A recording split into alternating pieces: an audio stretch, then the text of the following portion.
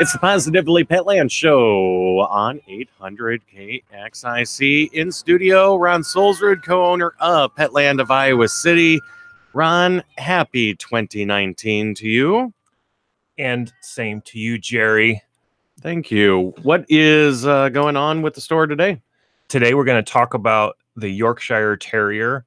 We're going to go through those dog resolutions and then the founder's blend or natural Heartland Naturals Founders Blend dog food. Um, at the store, we've got all sorts of here. What do we have going on? Um, jackets are still left, boots. We, you know what? I don't even know why I'm talking about this anymore. We have not had a cold winter.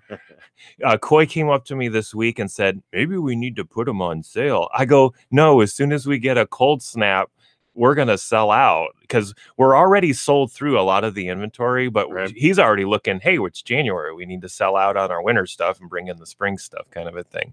So I don't know what to tell you guys. Uh, come in and buy toys. That's the probably the best thing as far as what should I do with my dog? Because I think everybody's playing with their dog outside a lot more mm-hmm. this winter than anything any in the past. So we've got a little bit of a warm one going. I don't know but if we're going to get it on the tail end though. Those leashes and those leads that are ragged and they might be broken. I mean, uh, you just don't need jackets, but there's uh, plenty at Petland of Iowa City. I had a lead. I had a we had a puppy, or we still have that puppy, and it's my daughter's. And we were having to use the lead as to control the puppy in the house. So it, he was on the lead to keep him close to us, so he wouldn't sneak away. Well, he started biting it, and so we were replacing them. Well, I didn't replace one soon enough. I was outside with little Fitz.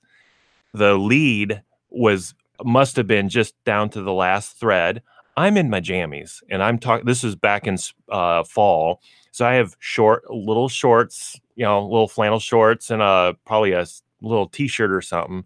Then the uh, lead uh, let go, snapped. Ooh what do you do? Yeah, what do it's you a, do? It was, you know, this is a little puppy. It's going to run.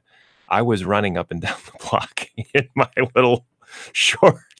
It was a sight to be seen, I'll say for sure. I just imagine a scene out of the movie Old School with Will Ferrell, you it's, running down the street in your oh yes. Skivvies. I hope nobody got that one on video because then because then Fitz was doing the same. That's really common thing that dogs do. As you approach him, it runs away. Well, first it stares at you. Yes. Taunts you, says, come get me. No, no, no, no, no. you get close. Then runs away. Oh, he would get, let me get like within two feet, and then he is a bolt. So it's just like whoosh. Um, got Susie out there. If anybody knows this show, Susie's my sassy little Maltese poodle. Actually released her. I normally don't do that, but I'm like, I got to do something. So Susie was corralling Fitz, which I was like, okay, thanks. I did find out as soon as I stopped moving forward and then just turned around and walking backwards, Fitz started following me. and and then I went up to the doorbell, rang it, and Wendy uh, uh answered the the front door, and she goes, "What are you doing out there?" it was just really classic, good story kind of a thing. That's that's what life is with a pet. Yes, Fitz ran right in then, and life was beautiful once again. So, all right, breed of the week, let's do it. It is the Yorkshire Terrier. So the Yorkshire. Oh, I'm at the uh, Petland Iowa City website. So if you want to learn about a lot of different breeds, go to petlandiowacity.com. Um, at the top, there's all about breeds, and you're going to get some nice short snippets of breeds to real quickly find out, you know, hey, is this down my line and all that. And I always like to ask the question, is this the right breed for you? So, from uh, the Petland Iowa City website, Yorkshire Terrier, Yorkshire Terrier puppies, affectionately known as Yorkies, offer big personalities in a small package. These are one of those smaller breeds. Though members of the toy group, they are terriers by nature and are brave, determined, investigative, and energetic. They have long, luxurious blue and tan coats, and because of that, they are non shedding or low shedding, I would would preface this portable pooch is one of the most popular breeds according to the AKC registration statistics. Um, Yorkshire Terriers, if you don't know this, they start off mainly black with some tan highlights on the paws and stuff, but then usually by eight weeks, you can already go to the base of the roots and you're going to notice that there is a grayness coming out. So the it turns gray fairly quickly as it, it's growing older. Within its first year, it's totally gray. Um, history named for the English city from which they originally hail. Yorkshire Terriers were used in the 19th century to catch what? Chipmunks. Rats and other small rodents in clothing meal in clothing mills. Uh, they also did uh, a lot of that. Do you realize how hard I tried to give the wrong answer? I know exactly what you're doing and and love it every single time. I, I look forward to the wrong answer. Surprisingly enough, it, it in, in its beginnings, the Yorkie belonged to the working class. I think this is one of those really cool stories, especially the weavers from the clothing mills. In fact, fictitious comments. Uh, I don't know if I'm saying it. Fictitious, F A C E T I O U S Fictitious. comments were often made about how the dog's fine, silky coats were the ultimate product of the looms. Eventually, the breed left the workforce and became a companion animal to families of the European high society. Isn't that funny? They took it. That's that happens in so many different ways. Foods. What used to be, "No, I'm not eating it. We'll make them eat it, then becomes a delicatessen. Uh, temperature, or You can say delicatessen, but you can't say fictitious. No, it did, uh, when I looked at the word, it's facetuous. No. Uh, temperament uh, of a Yorkie. That's uh, your engineering mind. It is definitely. Yorkies are easily adaptable to all surroundings, and because of that, they travel well. And I would totally go on this. Small dogs travel very well and very easy. Make suitable pets for many homes. Due to their small size, they require limited exercise. They literally get all their exercise can in the house, but need daily interaction with their people. That's to keep them social, and especially it's it's good to keep a Yorkie social to multiple people, or they get to be that yippy barky kind of dog that only wants to be around the one person and if anybody else comes in so socializing and this would be true with most all dogs but yorkies are definitely in that um, so keeping them social is key. The long coat requires regular brushing or if you're like me i go i would go and get them uh, cut shorter so it's a little easier to maintain. The yorkie does better around older children that won't pull or yank on them. Hmm I think that would be true for all dogs too. They tend to bond with one person, like I said. Therefore, extra socialization is needed in a family environment. Um, general appearance that of a long haired toy terrier whose blue and tan coat is parted on the face and from base of the skull to the end of the tail. This is just saying it's got long hair and it actually does part as a result. The body is neat, compact, and well proportioned. The dog's high head, carriage, and confident manner should give the appearance of vigor and self-importance. Grooming is recommended every six weeks, and that's about when I would do it. I just, I think for me, I just keep them a tighter cut. The most popular haircut for the Yorkie is called the puppy cut, where most of us get our, you know, that's That's the tr- traditional cut. cut for most dogs, but I but I from what they're saying is is that originated from the Yorkie. So that's the Yorkshire Terrier. Um, I've played with them a lot. I've known owners of Yorkshire Terriers, the ones that were single and they really secluded their their Yorkie. Those are the ones that everybody goes, oh, it's a yikey, you know, yippy, bitey dog. That does not have to be the case. If you socialize your dog, if you have kids, you're going to have a a very well socialized dog, very playful. I love it because it's a good amount of energy in a very small package. Uh, that's still kind of easy. It's when you get a big dog with a lot of energy that you go, whoa, hold on here. This is a a whole nother or, you know deal as far as energy level. So it's nice to have a small small dog with a lot of energy because they're just real playful. So and I have a friend who has, I think it's a golden retriever, and it's in an apartment all day long. And about nine o'clock at night, I'm out doing my different stuff and whatnot. And every single night, I see this dog just absolutely rampaging off the leash, terrorize. I mean, just running. I mean, absolutely sprinting. So having a big dog, you got to make sure that you get uh, plenty of exercise in and get some of that energy out during the day. But um, yeah, Yorkie, I like Yorkies. They're fun. oh, so it is the right breed for you. I don't know if it is or not. Well, I I, I like all breeds. So what else is going on? All right, so we're going to get into. We were talking about New Year's resolutions for your dog. And last week we went through what pulling, digging, um, how to like dogs, like when you go for the walk, right before you go for the walk, uh, they're crazy. Uh, how do you stop that kind of a thing? Uh, so we'll continue on that path, and I'm gonna get to some. Uh, did we cover begging at the table? I can't remember that one. That was the last one we wrapped up with. and we did do pulling, right? Mhm. Okay, so then let's. Oh, here we go.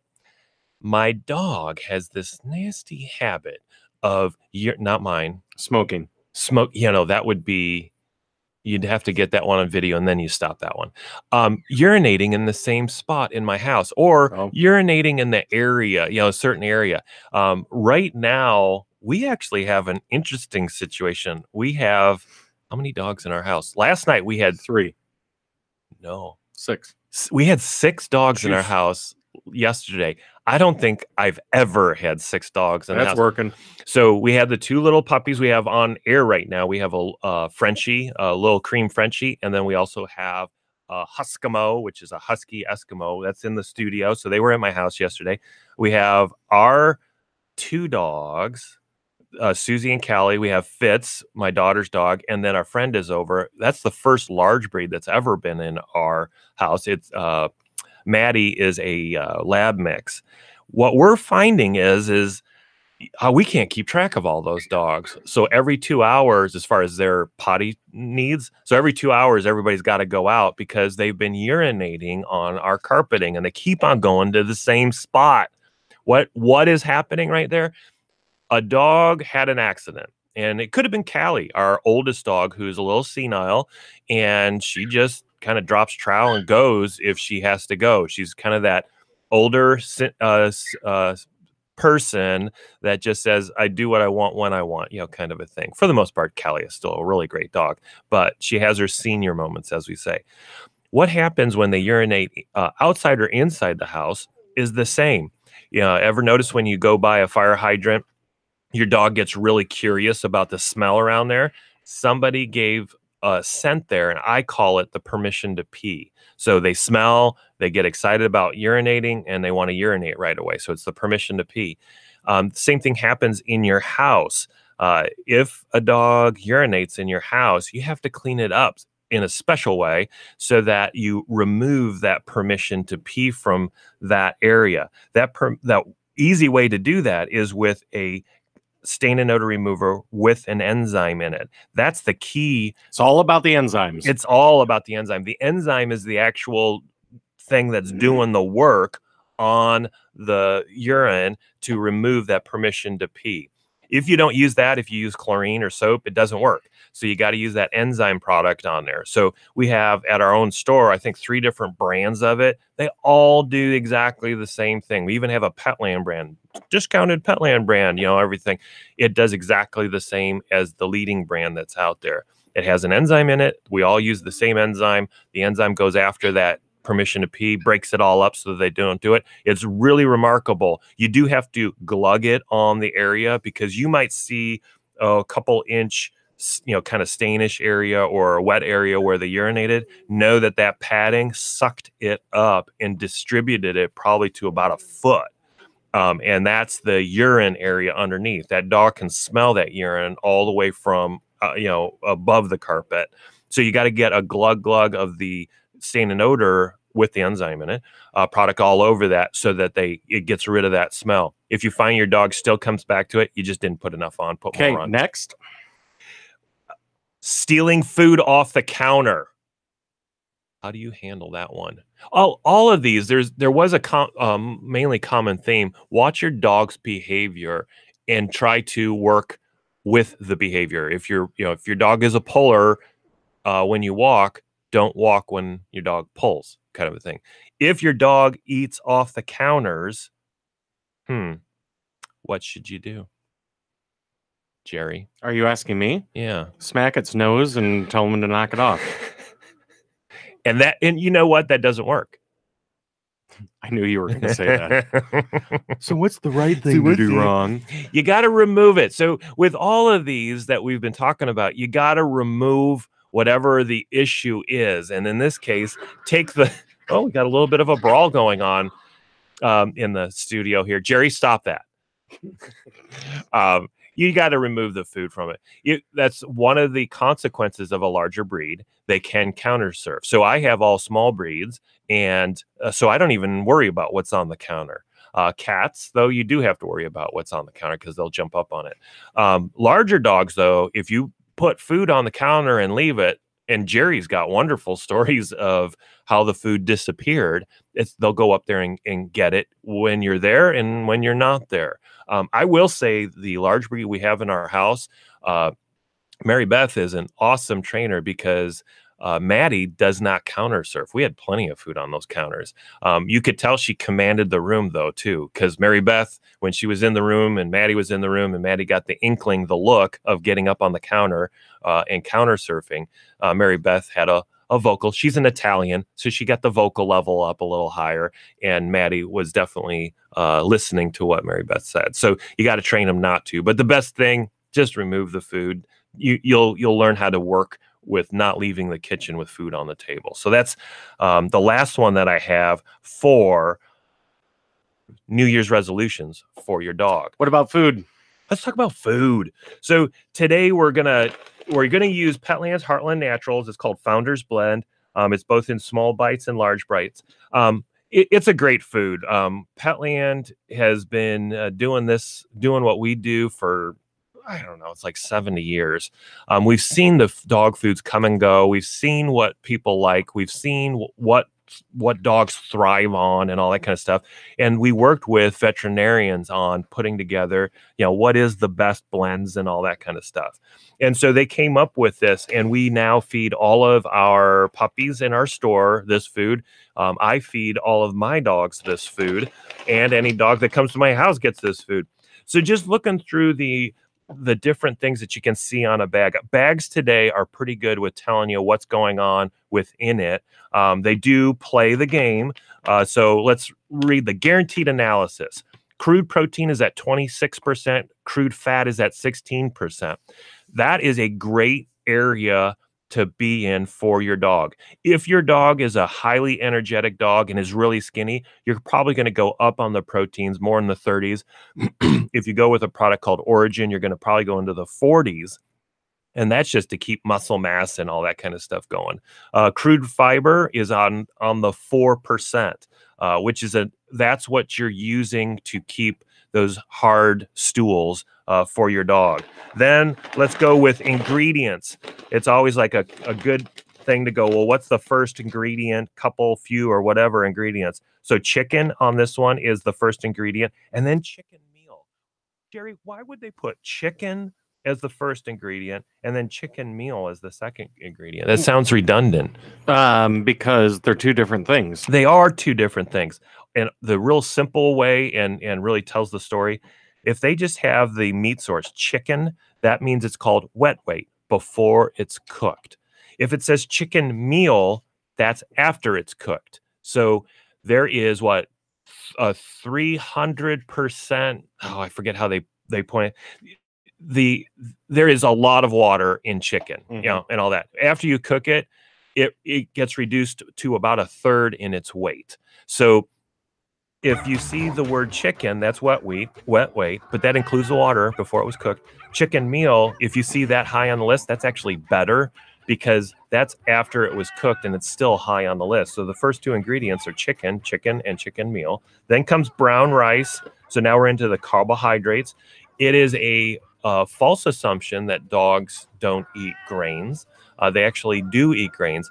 I think where it came from, though, is that dog foods, uh, like what you see in the grocery stores, went way in one direction, and pretty much everything they had in there was grain based. Even all their protein was grain based, and so that just went off the the side. You know, the, the wheels came off that cart, and so everybody started pushing back and saying, "Hey, dogs don't eat grain." That would be false. They actually do eat grains, and they can metabolize them as well.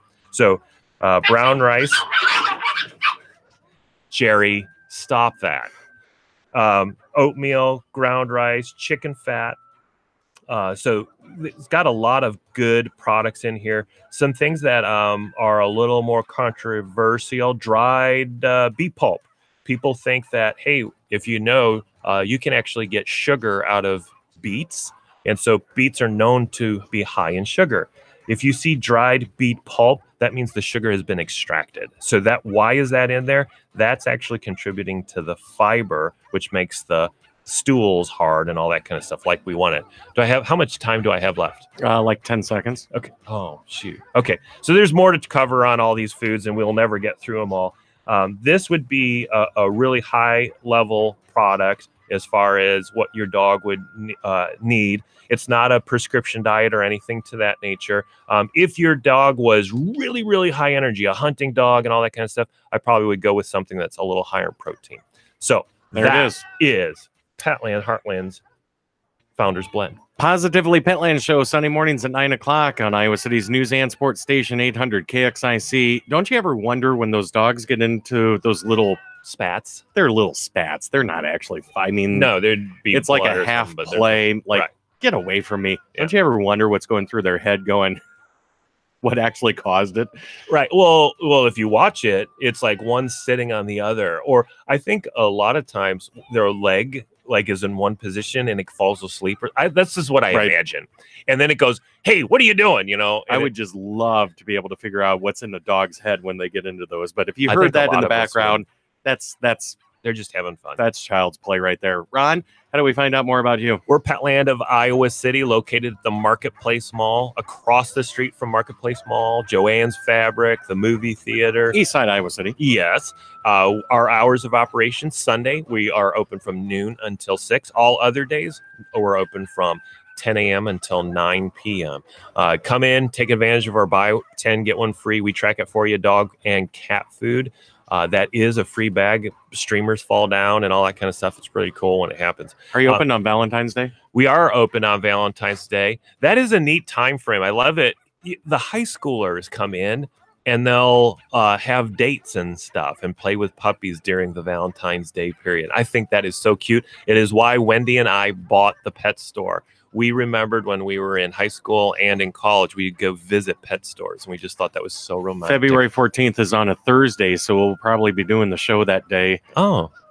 I think you need to bring something special in for me. PAWSitively Petland Show. Thanks for joining us right here on Thank Iowa you. City's News and Sports Station, 800 KXIC. Happy Sunday.